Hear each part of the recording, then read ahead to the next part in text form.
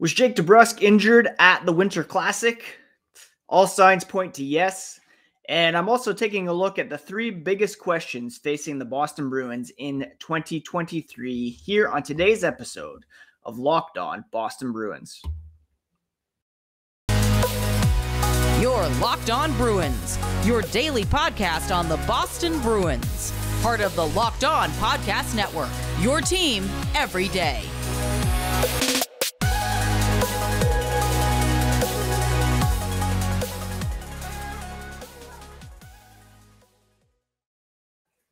What's up, Bruins fans, and welcome back to the Locked On Boston Bruins podcast. I'm your host, Ian McLaren, and this is a daily show where we discuss all things Spoked B.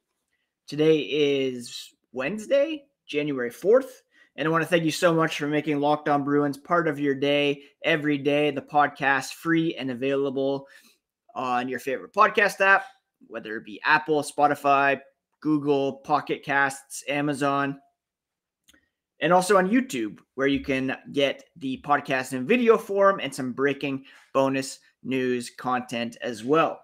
You can find the show on Twitter, Instagram at Locked NHL Bruins, and I'm at ENC McLaren posting dad jokes and hockey tweets and some show recommendations, uh, books, music, all kinds of stuff. Anyways, let's begin with a developing story uh, I saw it this morning from Mark Divver, who covers the Providence Bruins for the New England Hockey Journal and NHL.com. And you might have seen some photos after the Winter Classic on Monday of Jake DeBrusk in a walking boot. He was apparently injured during the game before scoring uh, the game winning goal after taking a shot off his skate. He was seen in the walking boot, and Mark Divver saying, with Jake DeBrusk in the walking boot, look for Boston to recall Chris Wagner from Providence. He's having an excellent season in the AHL, leading by example, scored the game winning goal, and was the first star with an outstanding two way game on Saturday. We all know, of course, that Chris Wagner has been buried in Providence for each of the past two regular seasons. He was called up in the 2022 playoffs and played in the series against the Carolina Hurricanes. This season, in 27 games, he's got nine goals and two assists for 11 points with Providence. Uh, he ranks third on the team in goals behind Vinny Lettieri and Luke Toporowski, one ahead of Fabian Lysell with one, sorry, seven more games played. Lysell, of course, has been in Halifax playing with uh, Sweden at the World Juniors here for the past couple of weeks. They play tonight in the semifinals against the Czech Republic. So if Jake DeBrusk were to miss any length of time, that would obviously make an impact on the Boston Bruins. You would expect if Wagner's recalled, he'll play on the fourth line, say with Foligno, uh, Nosek, Wagner, and then a third line of Hall, Coyle, Smith, or Greer. But it will impact the top as well. You'll probably have maybe Pastrnak go back to the top line and then a second line of Hall, Zacha, and Krejci, if that works. I'm not even sure if that uh, is ideal. So we'll have to wait and see what happens if the Bruins make an official announcement um, and keep an eye on Jake DeBrusk. Now, that kind of leads into my topic for today, which is the three biggest questions facing the Boston Bruins in 2023. Could be a bit of a transition year for the Bruins with a loaded roster at the moment, but with some potential turnover heading into 2023 24 regular season. Let's start with the obvious question Can this team win the Stanley Cup? The answer is yes. I, I, don't see why not. At the moment, they are the top team in the NHL without question. Uh, they rank first in total points, in point percentage, in goal differential, and right now they are the team to beat in the NHL. In fact, uh, there were just some updated Stanley Cup odds released. The Bruins, the favorites over the defending champion, Colorado Avalanche. If you like the model presented by The Athletic, I believe it said they have a 24% chance of winning the cup this season. Next best team was the Maple Leafs at 15%. The Bruins have 62 points through 37 games. They're six ahead of second place Carolina, who lost last night. Uh, they have a goal differential of plus 57, which is tops in the NHL, second in goal scoring, and they've allowed the fewest goals as well. So, add it all up, they certainly have a realistic chance at winning the Stanley Cup this season. And don't forget the motivation factor of winning for David Krejci, who came back after spending a year in Czechia, Patrice Bergeron, who re-upped for one season, Nick Foligno, who came to Boston by the encouragement of Patrice Bergeron for a chance to win. I mentioned on yesterday's podcast how Nick Foligno had a speech at intermission during the Winter Classic imploring the Bruins not to waste that opportunity.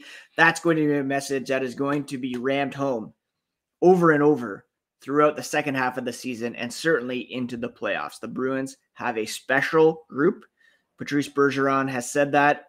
Uh, he reiterated that after the Winter Classic. They're not ashamed to say it. It's true. And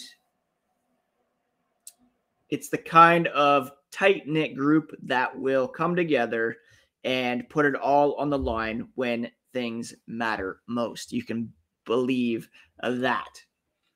We'll get to our other pressing questions for the 2023 calendar year here for the Bruins in a moment. But first, this episode is brought to you by Bet Online. BetOnline is your number one source for sports betting info, stats, news, and analysis. Get the latest odds and trends for every professional and amateur league out there from pro football to the college bowl season, NHL, NBA. They've got it all at betonline.net in terms of futures and in game props. They're the fastest and easiest way to get your betting info. Head to their website today or use your mobile device to learn more at Bet Online, where the game starts. So, my first question about the Bruins in 2023 is can they win the cup? What we've seen of them so far this season, yes, the answer is yes. They can win the cup. Will they win the cup? Well, we all know that once you get into the playoffs, really anything can happen, but they are as good, if not better, than any other team around the NHL and they have the depth, the veteran savvy to get it done when the games will matter most in the playoffs. My second question is what will this team do, if anything, prior to the trade deadline? It's coming up in less than two months now on March 3rd. And we know that Don Sweeney is not shy on pulling the trigger when it comes to trades. In fact, I'd argue that is the strongest aspect of his uh, work as general manager is pulling off some big trades and good ones at that. Look to last season, trading uh, Urho Vaakanainen, John and a couple picks for Hampus Lindholm. The year before that, bringing in Taylor Hall from the Buffalo Sabres. These are some pretty core players that he has been able to bring in at the past couple years at pretty reasonable prices as well. We all know Taylor Hall kind of had some say in that.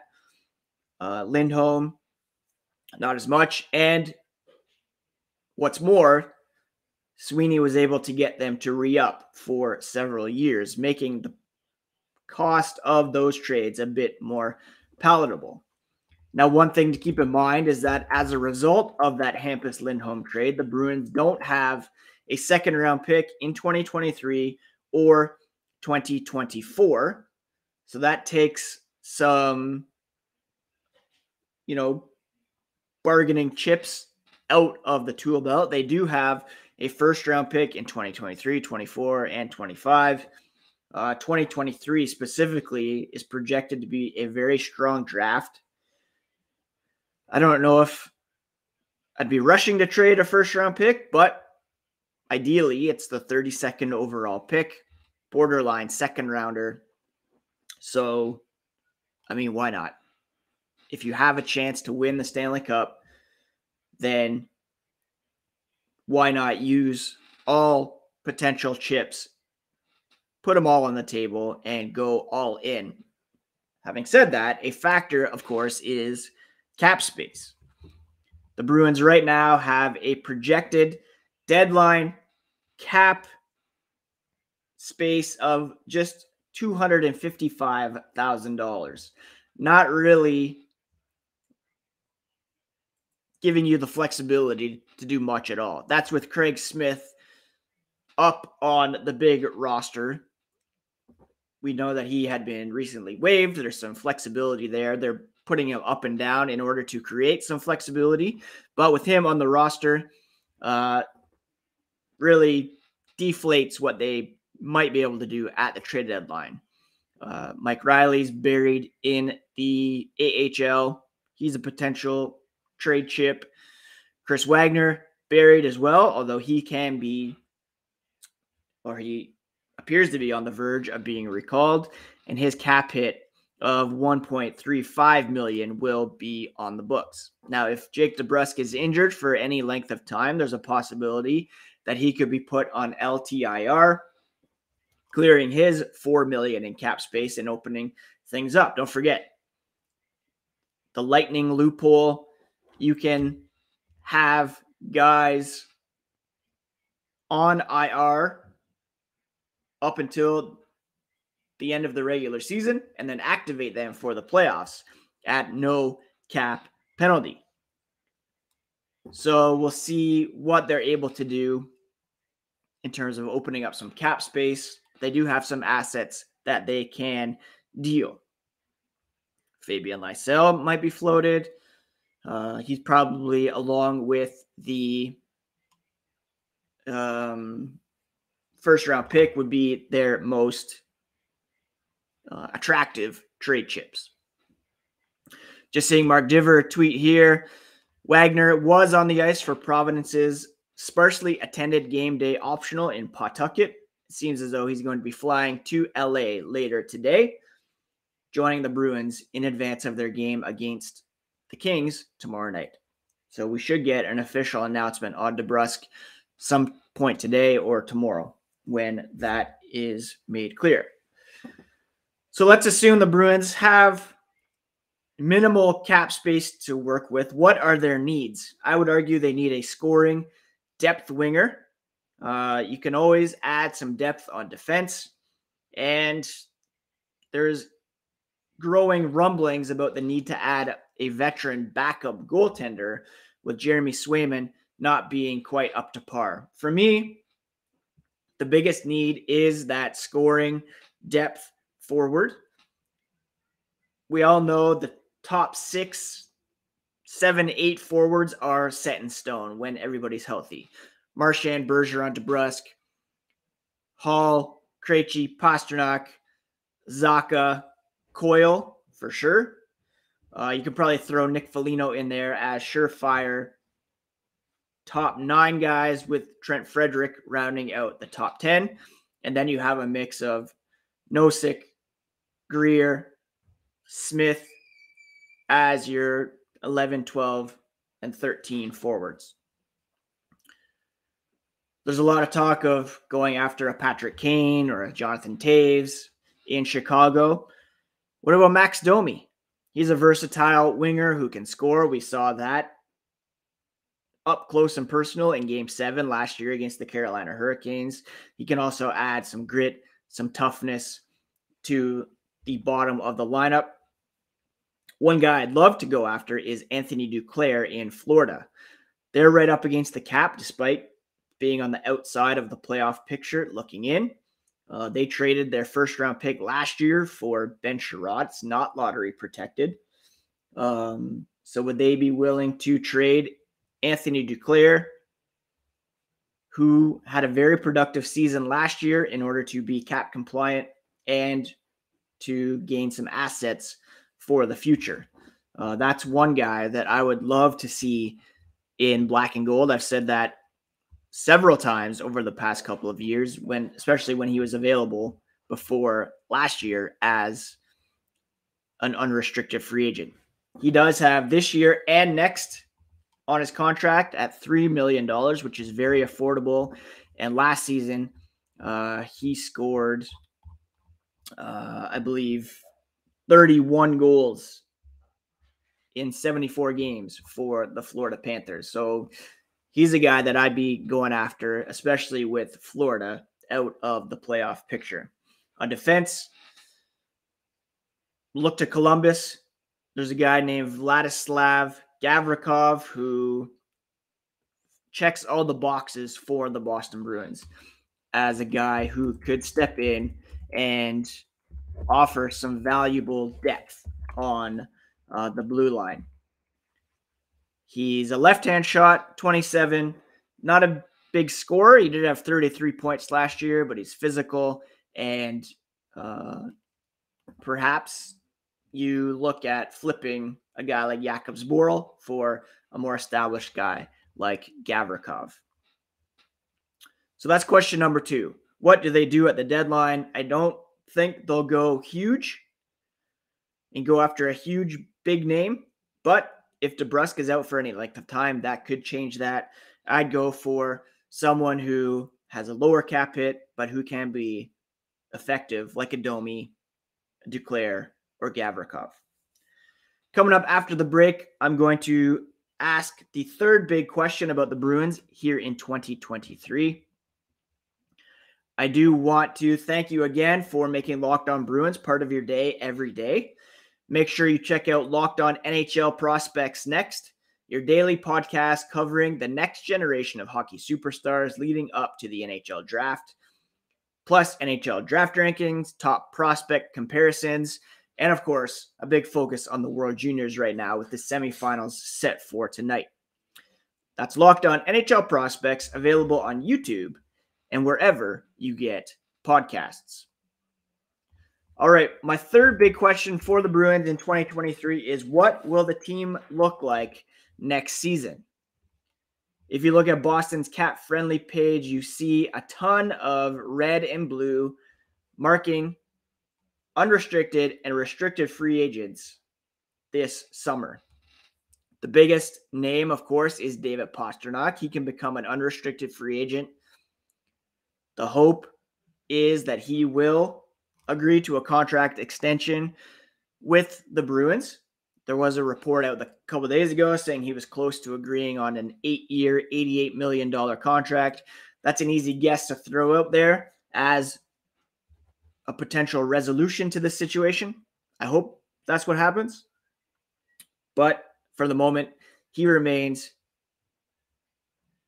a potential unrestricted free agent the only forwards who are signed for next season right now are Brad Marchand, Taylor Hall, Charlie Coyle, Jake DeBrusk, and AJ Greer.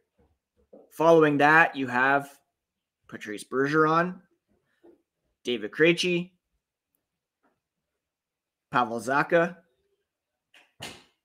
Craig Smith, Nick Foligno, and Thomas Nosek, all as unrestricted free agents, and Trent Frederic as a restricted free agent. The hope is that the Bruins will re up with Zacha. He could be a key part of the top six moving forward. We don't know yet what Bergeron and Krejci are planning. They probably don't even know either. They're focusing one game at a time. If, please let it happen, the Bruins do win the cup, could we see them go out on top? It's quite possible. If they don't win the cup, could we see them come back? run it back, try again next year. That's also quite possible. Smith, I would think, would be gone. Nosek, possibly gone as well. Um, Foligno, who knows? He could go either way. Could be a guy who comes back. He could be a guy who's retires if they win the cup. I could honestly see all three of those guys, Foligno, Bergeron, and Krejci, deciding that's it. If, of course, they win the cup. On the blue line, there's a lot much more certainty there. Six guys already signed for next season. The only unrestricted free agent is Connor Clifton. I'm sure the Bruins would like to have him back, although he may have priced himself out with his strong play this season. Jeremy Swayman's a restricted free agent. They're going to have to figure out his next deal. Uh, Chris Wagner's an unrestricted free agent. And there's some guys on the Providence side of things that you'll have to take care of as well, notably Marc McLaughlin, Jakub Lauko, and Jack Ahcan. So there's some big question marks, mostly on the NHL roster, and there could be some pretty high turnover for the Boston Bruins next season, depending on the outcome in the playoffs and what your Bergerons and your Krejcis decide to do specifically. There are some attractive free agents that will be hitting the market this offseason. You got your Chicago Blackhawks, Toews, Kane. You have Vladimir Tarasenko and Ryan O'Reilly in St. Louis. Uh, Max Pacioretty, James Van Riemsdyk, John Klingberg, uh, Sean Monahan, Dylan Larkin, Jordan Staal. These are all names that will be unrestricted free agents this summer. Bo Horvat would be my number one target for the Boston Bruins, especially if Bergeron and Krejci decide not to come back. But that is a matter for the offseason, of course. The most pressing issues are Jake DeBrusk's health, what happens at the trade deadline, and getting the job done in the playoffs. One option potentially is Jakub Vrana. He was waived yesterday by the Detroit Red Wings. If DeBrusk is going to be out for a while, put him on LTIR, grab Vrana. You're laughing. He's one of the best five on five scorers when he's in the lineup over the past few years. Probably not going to happen. The Bruins want to have some flexibility heading into the deadline. Brett Barnett on Twitter reminded me his AAV is over 5 million. Below that now, prorated, but still. Um, if the Bruins do put DeBrusk on LTIR, they could make room for that. Just saying. Anyways, that is today's episode of Locked On Bruins, my friends. Tomorrow on the podcast, we'll take a look at the cup check and assessing the top five teams around the NHL and where the Bruins rank among them, and also preview tomorrow night's game against the Los Angeles Kings. Uh, if you're looking for something to watch, we just started Slow Horses finally. Got a uh, trial of, of, Apple Plus that came with our new TV that we bought two summers ago. I didn't realize.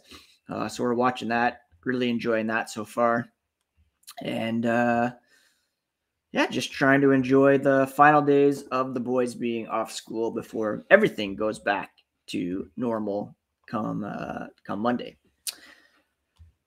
Thank you so much again for listening. Check out Locked On Prospects next, and we'll talk to you again here tomorrow on Locked On Boston Bruins, part of the Locked On Podcast Network, your favorite team every single day.